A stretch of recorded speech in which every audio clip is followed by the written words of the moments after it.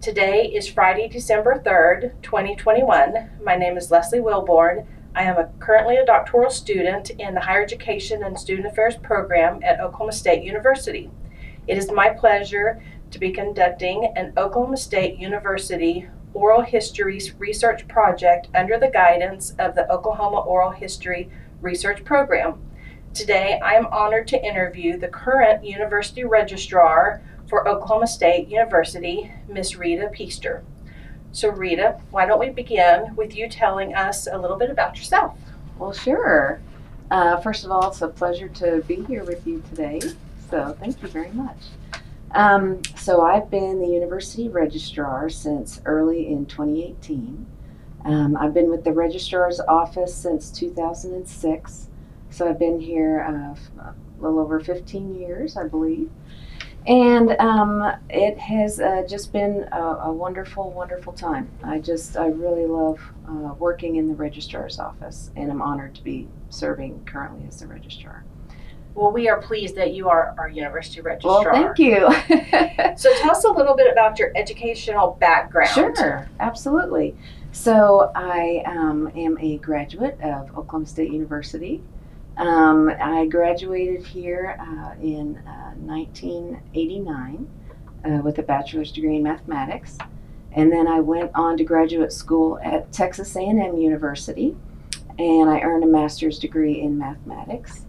Um, from there, uh, I started my career uh, in the insurance industry as an actuarial analyst, um, and then I uh, my family ended up moving back to Stillwater and um, I uh, rejoined uh, my friends in the mathematics department uh, as an instructor, uh, and which was a lot of fun. Uh, then I, I, moved into the IT department, and I worked in the IT department for quite a few years, starting out in um, instructional um, support. Um, so the precursor to today's uh, ITLE department is where I started out. Then they formed a project management office. And so I was luckily able to join the project management office uh, and uh, earned a certification uh, as a project management professional. And um, did a lot of work on the software team. Uh, and then I was in uh, 2006, I was recruited to come and join uh, the registrar's office as an associate registrar. So I had the pleasure of speaking with um, Dr. Robin Lacey. Yes. And he was unable to participate in the oral history project, but I did end up speaking with him for about 45 minutes. Mm-hmm. And it's very interesting how your background played directly into what he was really hoping to develop and build for the registrar's office. He had made the comment that while technology was not his strength, as he knew he was growing closer to retirement, mm-hmm. those were the type of individuals that he really wanted to bring mm-hmm. into the registrar's office. Mm-hmm. So I'm sure that he would be very pleased with your background and how you are leading the registrar's office because I think that was his vision of the future because of technology coming in the way that it did. Well, that's very kind. He certainly left an amazing legacy. Um, you know, one of the things that that we get to participate in as, as a registrar at OSU is um, joining with our colleagues, our registrars from other Big 12 institutions. And I'll never forget when I first uh, went to my first Big 12 registrar meeting, and uh, the registrars there were talking, they talked a lot about uh, Dr. Lacey, and they would talk about a lot of his sayings, and, and uh, they loved him a lot. So, and I know that uh, the the colleagues that we, we still have um, one uh, of our assistant registrars, Paula Barnes. Uh, she was here when Dr. Lacey was registrar. She's our longest standing uh, um, employee in the registrar's office. Uh, so, anyway, I've heard a lot about him. I have a high degree of respect for him. Very nice, very nice. So you talked about the Big 12 registrars. There's mm-hmm. also other associations. So why mm-hmm. don't you talk to us a little bit about those associations, how important they are, and really mm-hmm. what you bring to those organizations as a representative of Oklahoma State University? Sure. Well, uh, at the statewide level, there's the Oklahoma Association for Collegiate Registrars and Admissions Officers, um, otherwise known as OACRAO. And, uh, you know, it's a small group, uh, but we typically have about 100 uh, folks from, from across the state that will come to the annual meetings. And it's really um, such a, a, wonderful way uh, to collaborate with others who are doing the same type of thing that you're doing uh, be able to bounce ideas off of each other, uh, troubleshoot, and just have camaraderie with others who understand, you know, the same types of situations that you're in. So um, it's a great um, a group uh, to help provide professional development for our staff. So we try to send as many of our personnel as we as we can to those annual uh, professional development opportunities. Um, and then we, as one of the larger institutions in the state, you know, I'd say the best one, um, um, but I'm not prejudiced at all. No, but you know, we do pro- we do provide uh, something of a leadership role in the statewide association. So I'm always uh, supportive. I've I um, had leadership roles from I think about 2009 to about 2015.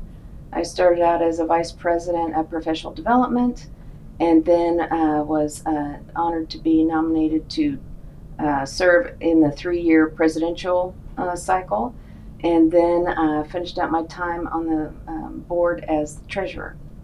Um, and I've been uh, supportive of ensuring that we always have someone from our office that can help serve on the board, um, just to help provide resources to the state.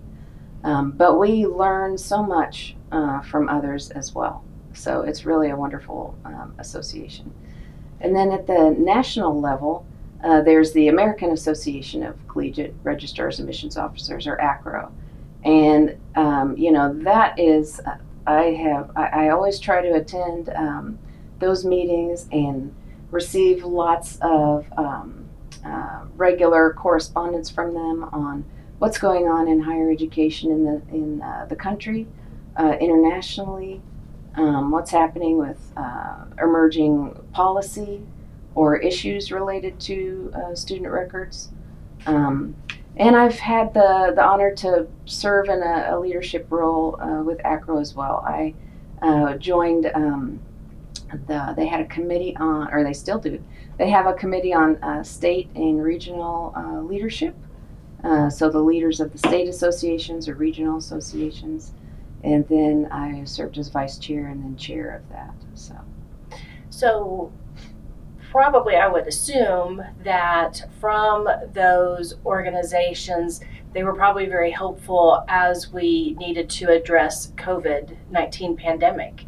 So why don't we go ahead and jump into a little sure. bit of what you can share with us on how the registrar helped with Oklahoma State University its you know awareness preparation and maybe still what's even ongoing today. Sure. So uh, you know when when uh, covid hit um, there were so many things that uh, my, my, entire job changed. And i think that's true for so many people. So it's not that i'm you know unique in that. But um, uh, and the association did their best to to try to offer guidance and and bring together leaders uh, from across uh, you know the nation to talk about what they were doing and to, to conduct surveys and share the results of those surveys but so the first thing that I think um, that changed uh, for us that was uh, that I directly worked in was commencement ceremonies. So you know um, we uh, everything shut down in the spring of 2020 in the middle of the spring semester. And so immediately uh, it was it was determined that well we had to make decisions about what was going to happen for spring commencement. So um, you know with everything uh, that we did, lots of collaboration, just bringing the right you know bringing uh, the uh, key stakeholders together. You know, president's office, um, students that were impacted.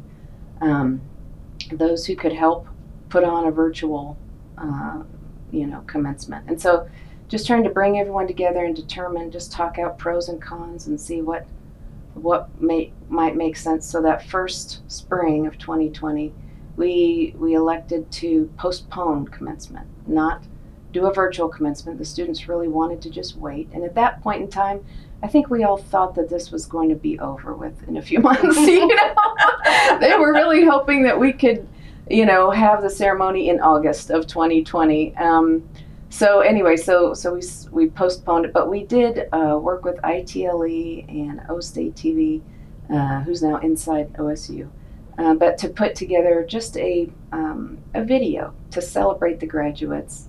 We we um, provided a way for the degree candidates to upload a photo, and you know we, we com- combined all that. So we just did a celebratory kind of a video at the time we would have had commencement. That was the first thing we did then in December, you know, as, as, as time marched on in 2020 and it became apparent that, well, it's probably not going to be feasible to hold a, an in-person ceremony, um, we made the, uh, the decision to, it was diff- very difficult decision to have a virtual commencement ceremony. We, we felt we had to have a commencement ceremony. And so we, uh, we did a virtual ceremony in December. Um, recognizing all the class of 2020 uh, graduates. And, but also at that time, let the students know that when we were able to have an in-person ceremony, our class of 2020 would be welcome to come and walk when we when we did that. So so the virtual ceremony in December was different than just the celebratory video we did in May. And then in May of 2021, uh, we did have our return to our first in-person commencement ceremony. Um, but we did it outdoors in the wonderful Boone Pickens Stadium uh, with social distancing and masks. So I, have done we've done commencement, you know, three different ways, and then this this fall and next Saturday actually, uh, we're preparing to return our commencement ceremonies to indoors at Gallagher Iba Arena. So it will still be different, a little different, a few um, you know new precautions uh, due to COVID.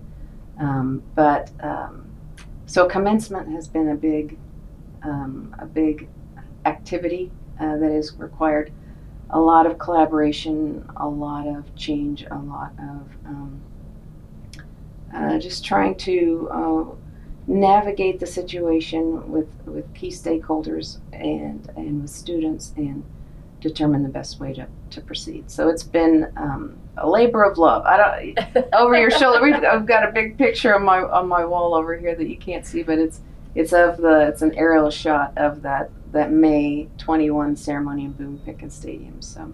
We'll it will always to, hold a special place in right. our hearts. We'll have to definitely take a picture of that, be able yeah. to use it um, yeah. in the video itself. But I, I, could mention some other things. Um, sure related to COVID. So another thing that um, you know that first spring semester uh, that was determined is that due to the huge disruption uh, in the um, academic environment that spring, it was determined uh, that we wanted to give students the option of electing pass or no pass grades for their classes. And so um, we had to, so um, had to just work to understand all right, if we wanted to do that, how would we do that? Is it even feasible in our student system?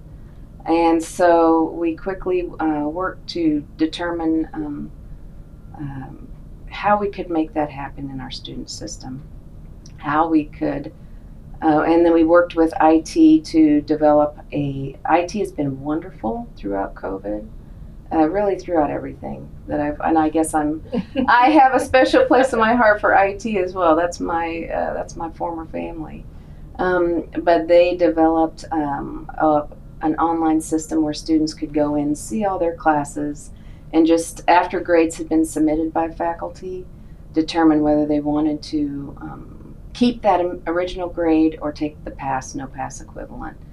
And then getting all that back into the system and on the transcript. So that was a huge effort. Um, and we were just, I was really pleased to be able to help provide guidance um, and then trying to communicate all of that out as well.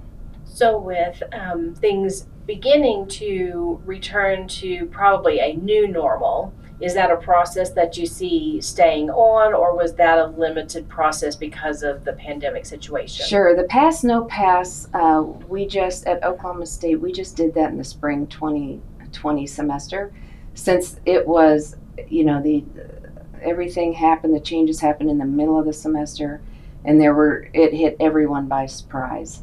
Um, so there are some institutions that may have um, continued that in like summer of 2020 or fall of 2020, but not many. Most institutions, um, like Oklahoma State, we just did that for the spring semester. Um, but then um, after spring, when we were looking toward to fall of 2020 and really wanting to bring uh, everyone back to campus, trying to navigate how to have in person classes again, but do it in a way where social distancing would be possible. Uh, it required a thorough review of our, our class schedules, um, looking at um, uh, so many different factors. We ended up uh, really completely changing the fall 2020 class schedule. And unfortunately, we had to do that after students had already enrolled in their classes. Um, but but you know we just everyone pulled together and we did the best that we could. Um, again, that's another time when IT really uh, came to our rescue. We collaborated with them and they created some tools for our office that allowed us to make some changes to the class schedule in mass. Uh, so, um, and we, we had to work with a huge facilities team led by Casey Shell uh, the university planner. They went out and found big, huge spaces on campus that are not meant, uh, you know, not intended to hold classes, such as um, Colvin Center uh, basketball courts, you know, indoor hockey arena. Um, we use some of the suites in Boone Pickens Stadium. We use the O Club in Gallagher Iba Arena. Uh, I mean, just places all over campus. We used some of the big rooms in the in the library and converted them uh, into uh, classrooms. And then we had to determine, you know, what's how many students can we fit in there. Uh, I, there was just so much more than I could possibly explain all the effort that that went into uh, revamping the fall 2020 class schedule. Well, I think it shows the dedication that your office and many offices mm-hmm. have not only um, for the university, but specifically the faculty and the students, mm-hmm. wanting them to be able to get back in a safe environment. Right, right, right. And then we had to do the same thing for spring of 2021. and then we just determined that, you know, that uh, in, in early 2021, it was determined that our fall 2021 should go back to more normal class sizes um, and so then we had to undo what we did. so our poor class scheduling team, I mean, my goodness, they have been uh, so amazing. Uh, they haven't complained, you know, but we have kind of been through the wringer in terms of changing the class schedule one way, you know, blowing it up to enable social distancing and adding all these new classrooms and adjusting even the times, even the breaks between classes, and then having to take that all back uh, in time for fall 2021. So, anyway, it's been a journey. Well, as a student, I'll speak for all students. We thank you and thank them for all of their work. Uh, well, it's it's an honor to serve, and you know, it's a, a huge teams of people uh, beyond our office. You know.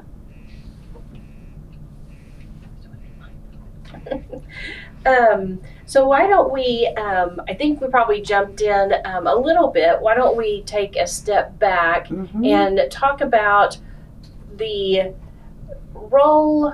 And you can you might be able to give us um, a little bit of context as far as really the term registrar, what that means to a university.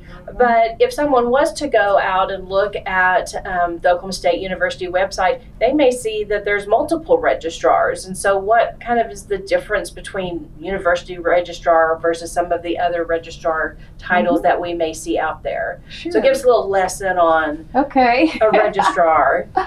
oh goodness! Well, the registrar's role is really wide I was really kind of shocked when I first came to the registrar's office, not knowing much about it, how much the registrar is responsible for. Um, uh, let, so I might just start by answering the second part of your question Okay. and then circle back to the, re- what the registrar is. But so the university registrar, when you have uh, an institution with multiple campuses, there can be uh, registrars that are over just a certain school, like many institutions uh, may have, uh, like our um, our Center for Health Sciences has their own registrar that handles the courses um, and the enrollment and the transcripts for that uh, for that school. Um, and the the university registrar, so there could be different different ones. But the university registrar uh, handles the overarching um, uh, responsibilities for the institution as a whole. So, um, and the, the responsibilities include the uh, everything that is assembling everything that's in the university catalog. Um, and we focus, uh, it starts with the courses. What courses does the institution offer? Um, what degrees do we offer? Just recording all of that. We don't make the decisions on which courses or degrees to offer, but we are responsible for accurately recording all of that information. And then, in addition to recording what are the courses, what are the degrees, uh, constructing the schedule of classes for every semester. So we take all the information from every department and ensure that every single section of every single class is set up correctly in the student system. We maintain the student system. Uh, we we maintain the system then for students to be able to register in the classes. So once the classes are set up, we've got to facilitate the system uh, for students to register in classes. We, uh, we help ensure that the system that, that advisors and students have to plan their registration uh, is, is available. You know, when I was a student, in fact, when I first came to the registrar's office, we just had paper catalogs of the class schedule. Uh, everything was on paper. You know, since that time, we've been fortunate to be able to have new systems that allow you to create a, a plan online, you know, and save the plan and student and advisor can do the, these things, you know, virtually. You don't necessarily have to be looking at, at, at things together, although you certainly can. And then, um, you know, once students register in classes, then we facilitate uh, the systems for faculty to enter grades.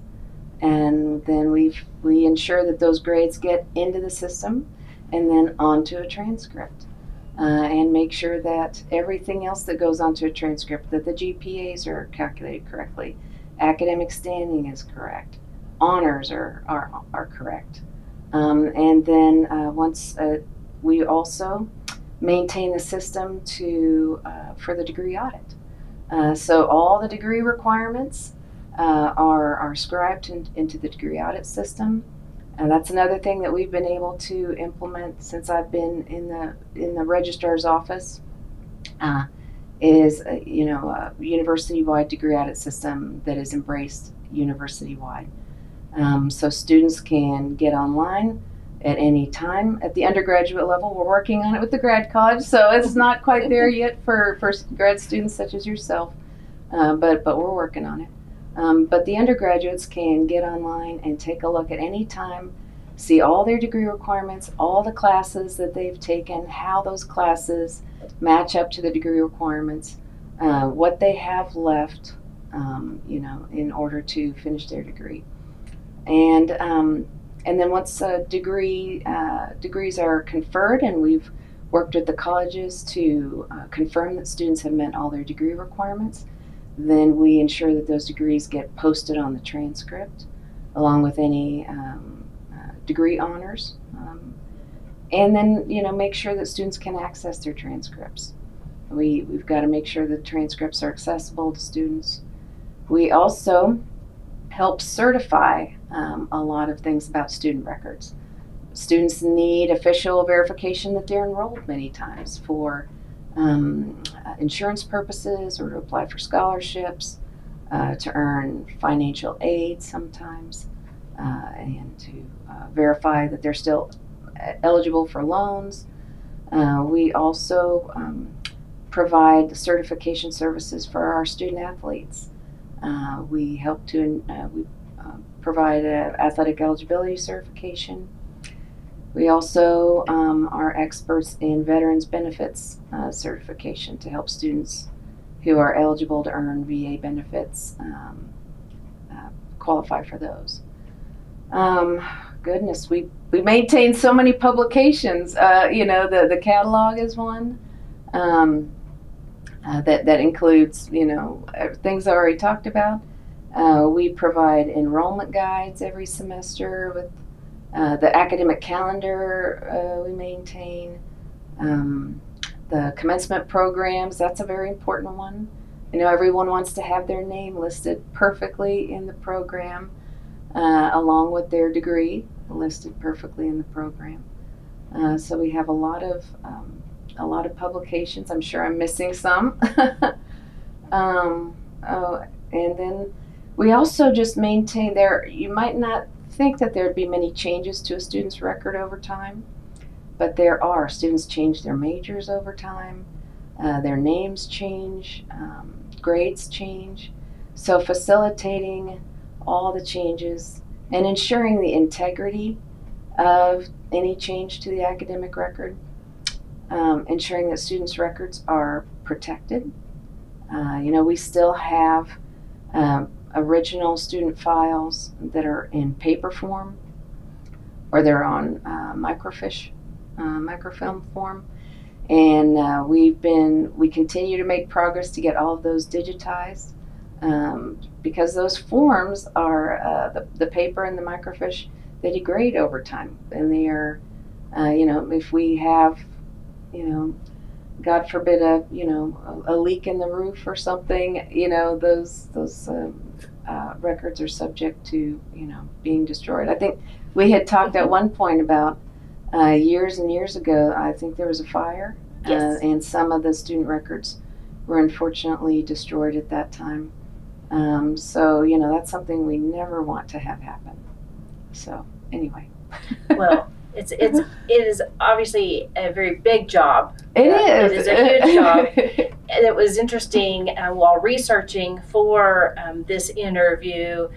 Um, one of the things that I had come across was a survey about um, how many students randomly sampled across the university if they asked, Do you know who the registrar is? or do you know what the registrar does? Uh-huh. Um, it was, you know, a pretty impressive number. It was about, I think, 60%, which is pretty impressive.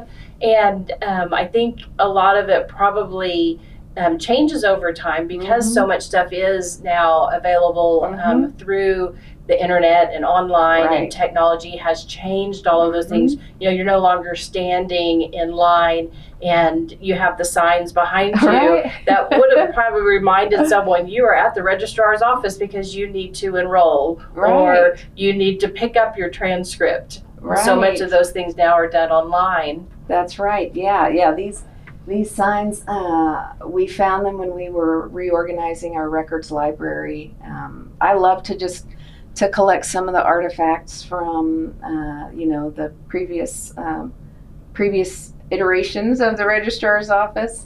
I just have such a high degree of respect for what it what it took to maintain the records. Um, you know, when everything was done by hand, I just can't imagine collecting all those grades by hand and then hand uh, typing the updating the transcripts one at a time. I mean, it's just amazing. Um, what what had to be done. So I have a high degree of respect. Oh, nice.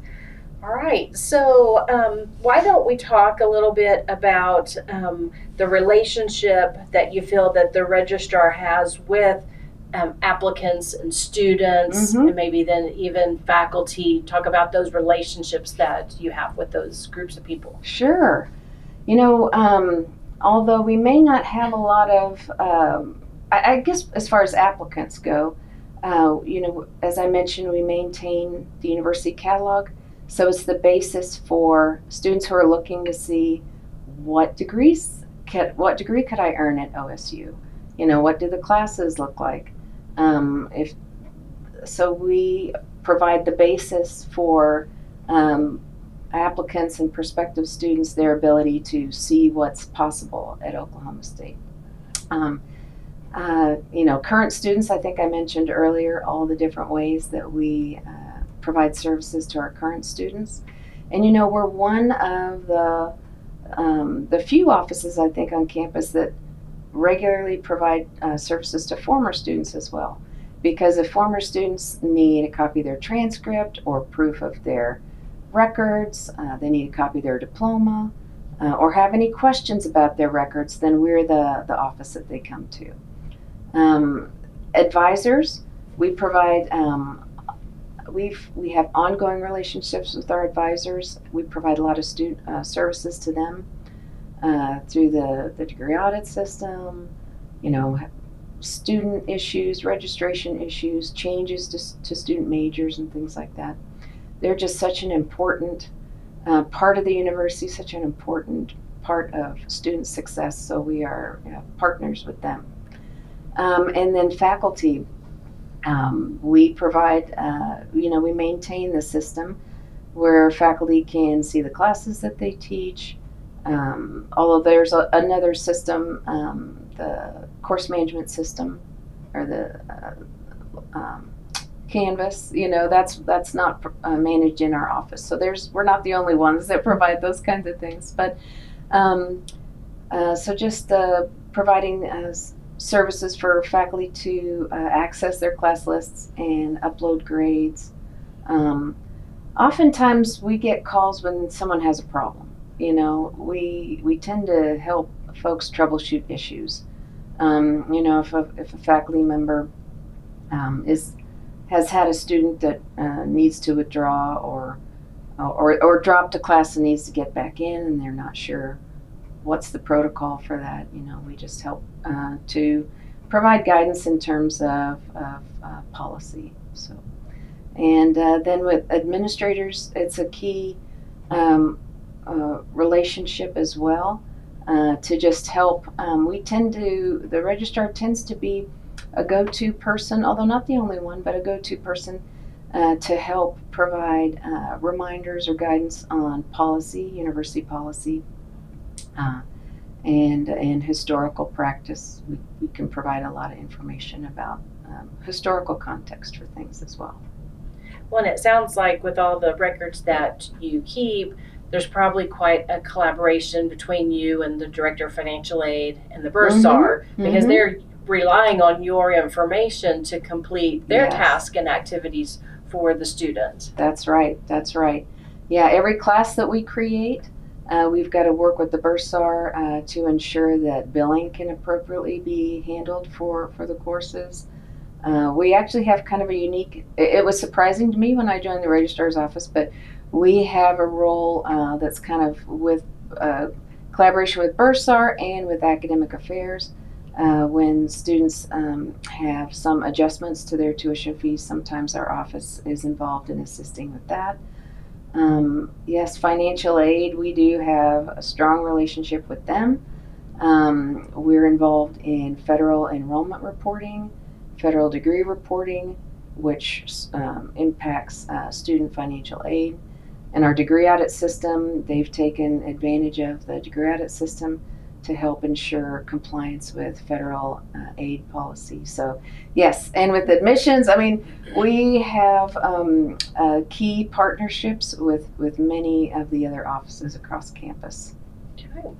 So, with you and your staff maintaining all of these records, why don't mm-hmm. we talk a little bit about some of the, um, you've mentioned it a, bit, a little bit, but talk about some of the reporting that is required by the university, you know, on a state level with the regents and then mm-hmm. federal level with IPEDS? Mm-hmm.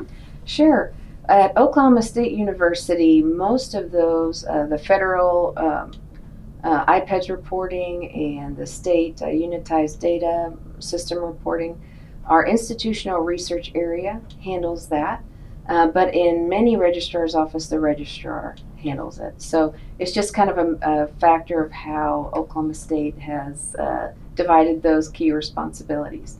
It used to be, though, that the registrar handled that. In fact, when I first came to the registrar's office, there were pieces that the registrar's office was still responsible for along those uh, reporting uh, areas, but it's just over time, all the reporting has gone to, to other areas. But we certainly utilize a lot of those. Um, but we do submit the enrollment reports to the National Student Clearinghouse, which then uh, provides the data to NSLDS for federal aid. Um, okay. Right. Why don't we uh, switch gears just a little bit mm-hmm. and let's talk about state and federal legislative impacts um, to the university that you're required to fulfill? Sure. Well, I think the registrar's uh, role is, is famous for uh, being the, the FERPA uh, go to person on campus. So, FERPA stands for the Family Educational Rights and Privacy Act of 1974, and it is a law that protects uh, student uh, educational records.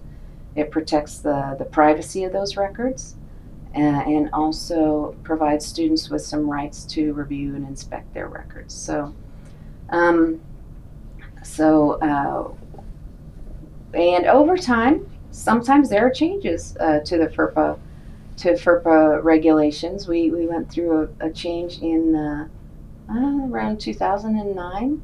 There were some significant changes to FERPA that we helped um, implement. Um, uh, ensuring that um, uh, that uh, we validate the identity of uh, of students before we and others who have access to the student records before we disclose them.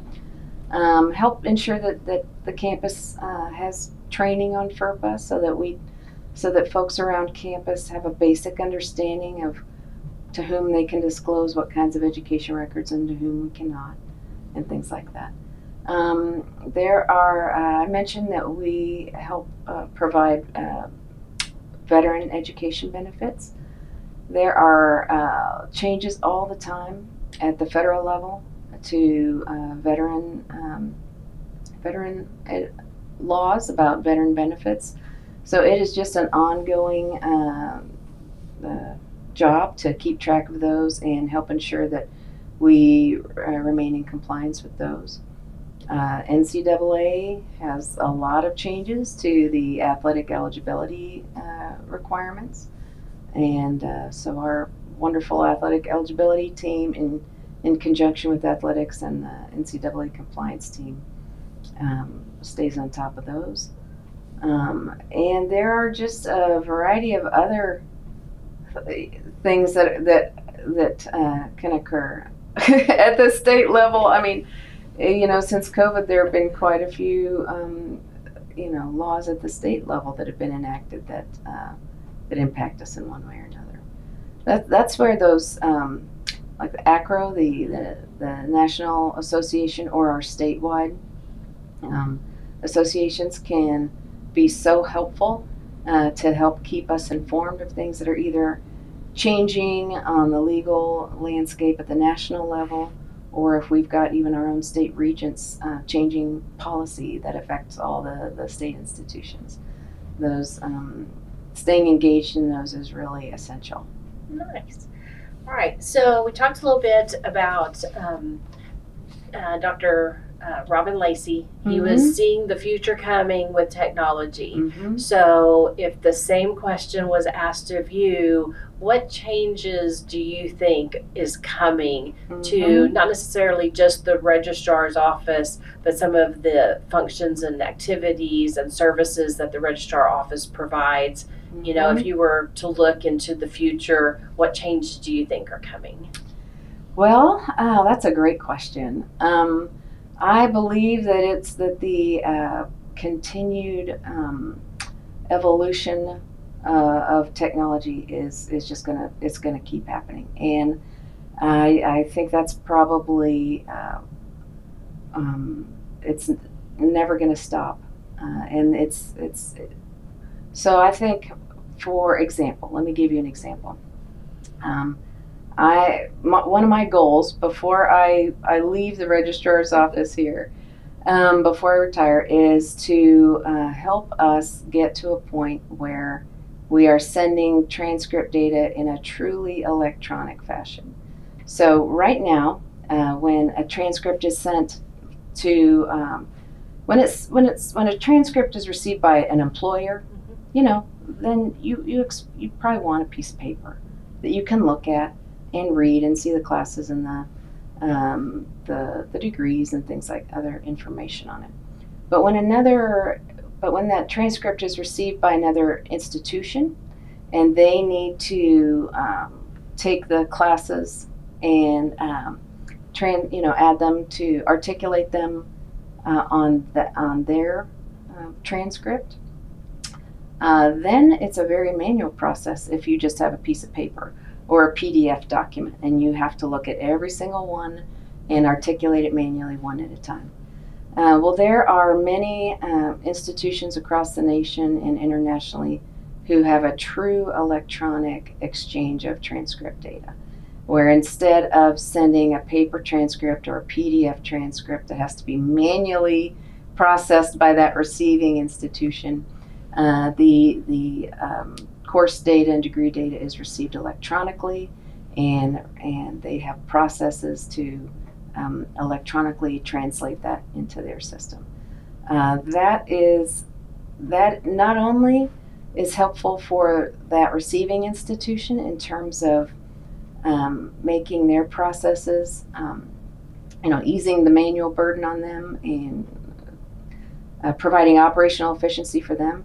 But that is going to help the students because they will be able to quickly be able to understand how the courses that they've taken will transfer to that new institution and understand um, what that means in terms of the degree they want to earn at that institution uh, you know, and help them understand and, and make decisions.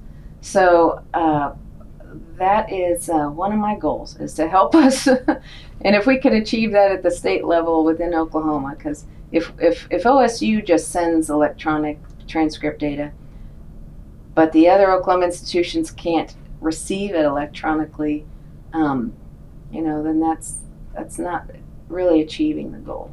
So my goal is to see what we can do at the state level to really get a true electronic uh, exchange of data. And at that state level, exactly what you're talking about, each institution has to be able to send and receive. Right. And I would imagine that that also would help with the authentication mm-hmm. um, in the validity, validity of the information, where unfortunately, um, you know, we do see a lot of um, falsified information. Mm-hmm. Mm-hmm. Um, doctoring, uh, right, right, paper records, uh-huh. right, right. That's true. There, there is. Uh, you're right. That if you can receive the data truly electronically from the institution, um, and there are uh, protections that are built in to help verify that that data came from that institutions, then you're right. That will help um, alleviate issues with falsified records.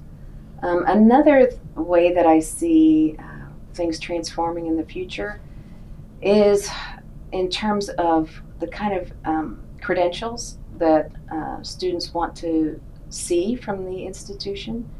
So, another emerging trend across the nation, in addition to the data that students have on an academic transcript, is something that's called, uh, today it's called a comprehensive learner record.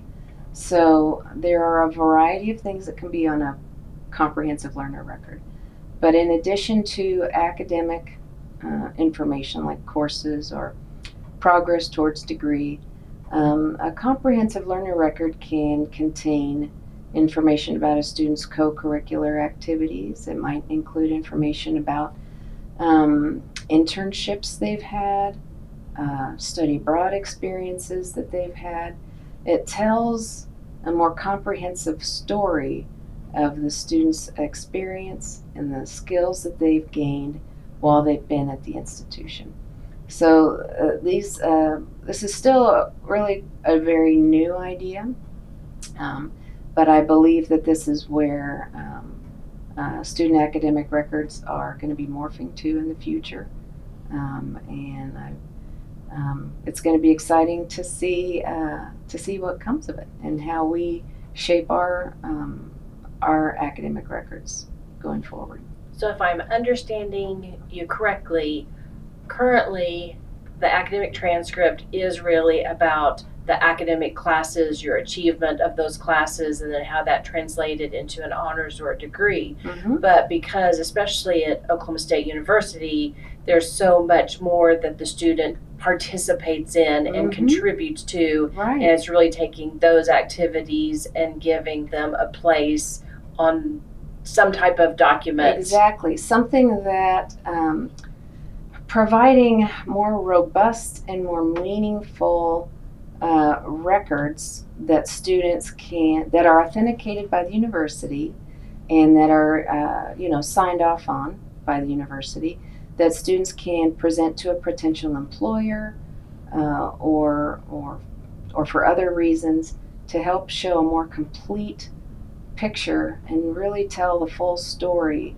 of their experiences, their competencies, uh, and the skills that they have earned along the way that they could bring to a new a new job, a new career. Well, I think that sounds very exciting. Yeah, it is. I agree. It is exciting. All right. So, um, why don't um, we talk about how representing Oklahoma State University as the university registrar has been rewarding to you personally? Because obviously, especially going through COVID, I'm sure you put a lot of yourself into this position. So, you know, what are some of those rewards that you can reflect back on? Oh, sure. Um, so personal rewards. I think I have. Uh, I I'm really rewarded every day. I'm just gonna uh, honestly. I mean, um, I just feel so uh, fortunate and so um, blessed to be in this position. It's a wonderful. Um, it's extremely fulfilling uh, to be able to come in every day and just help problem solve whatever um, may come uh, our way that day uh, for the university. Uh, every once in a while, uh, you'll receive an email from a, from a student, you know, hey, thanks so much for helping me get enrolled in this class. Um, you know, or just helping someone answer uh, a question, something that might be simple for me to answer, but that, you know, is really uh, helpful for someone to, to get on their uh, on their way or remove a barrier. Uh, being able to um, implement new technology uh, has been extremely rewarding. Um, uh, we, um, in conjunction with uh, Leslie Evans, she's uh, one of our associate registrars, and with IT again, yay to IT.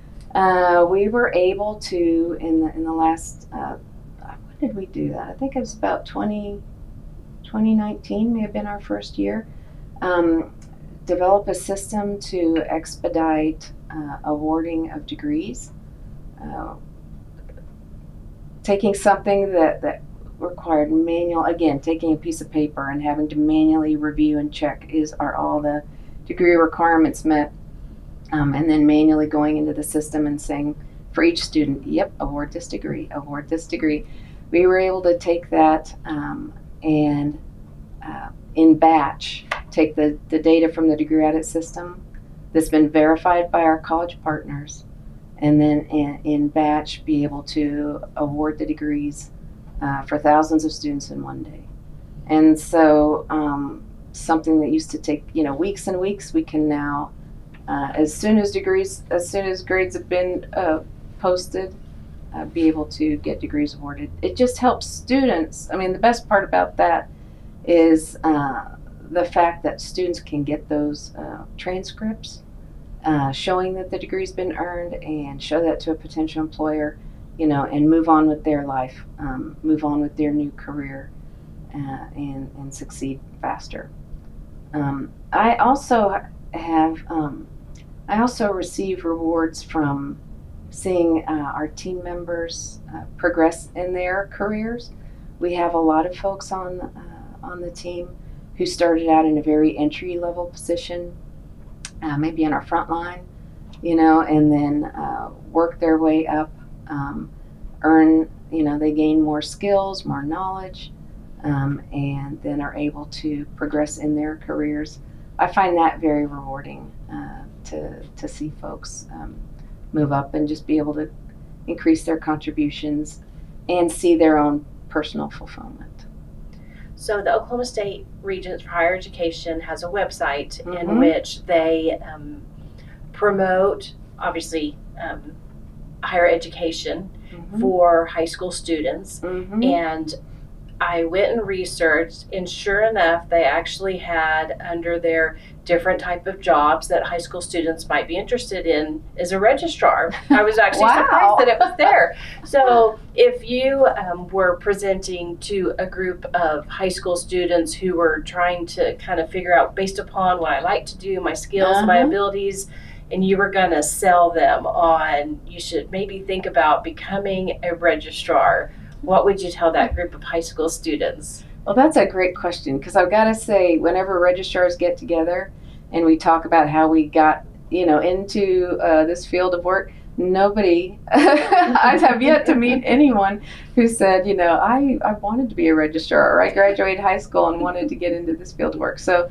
it tends to be a path that everyone has a unique, you know, a, a unique story uh, to tell in terms of how they got there. But for that high school student who has learned about the registrar profession and is interested, I think that I would probably encourage them um, to uh, study whatever um, they're passionate about in college. You know, I don't know that there's a specific degree program that you need. I'd say whatever you're passionate about, and um, uh, and then um, to pursue a career in higher education.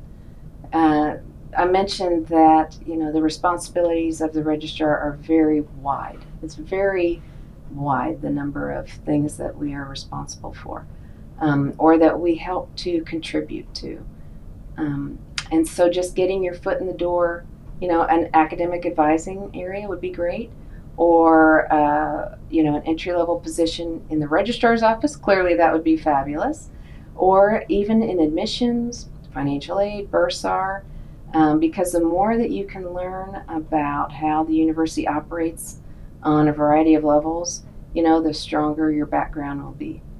Um, but then again you can be someone like me who started out in a lot of different areas and then i just sort of you know by by chance came to the registrar's office um, and oftentimes, having that external perspective uh, can also be a great strength in the registrar's office. I think the key is to be someone who is, uh, you want to cultivate your problem solving skills.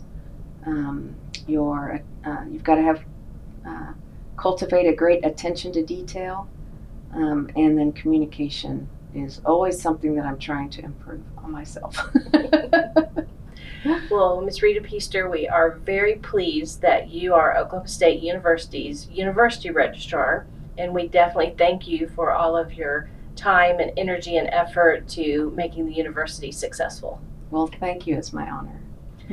So what I think we'll do is we'll uh, let you get a drink. I'll get a drink, and then what I'd like to do is to stage a couple of the things that we like, maybe the first um, course catalog, and we can show one of the um, awards that is handed out, and um, we'll kind of use maybe that little tabletop area, Okay. and I'll just move the recorder over there, and then we can kind of just go and just discuss some of the artifacts. Sure. Since that's a passion of yours, and you have them here displayed so lovely.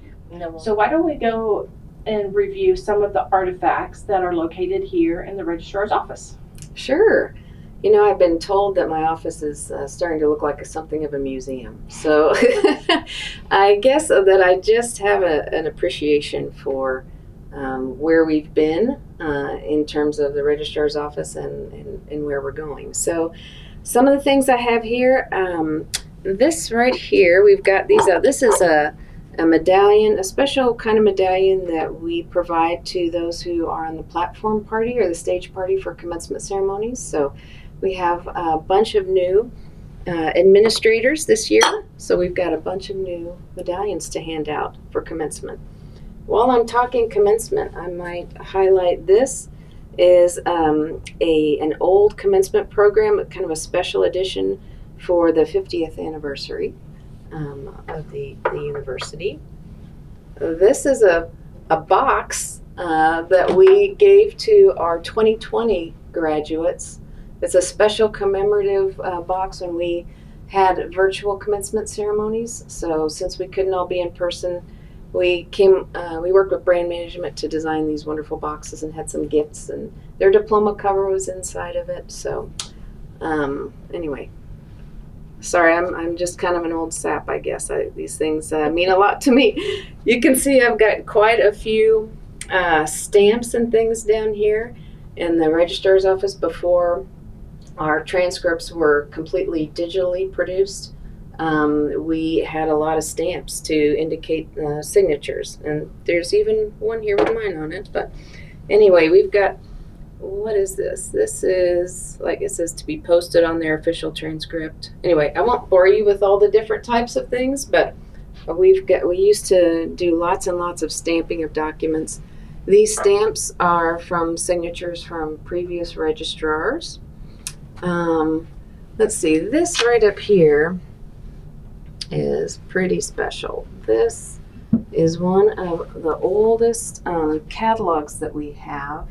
We've got a records library where we uh, retain copies of all the university catalogs that we've had. This is just a very um, a very special one because it's it's by itself. They used to be. Whoops, I got it backwards. Uh, we've got them cataloged in our records library um, many years together. This one says 1914 to 1915. So it's really uh, interesting to look at some of these old catalogs and see what the degree requirements um, were like at the time. Uh, they were so simple compared to today. And I've got a catalog from when I was born, 1967, also. So, anyway, and, and I guess I've got quite a few of our uh, of our more recent catalogs um, here, and a lot of some publications from uh, AACRAO and, and other things. Well, thank you for sharing. Sure.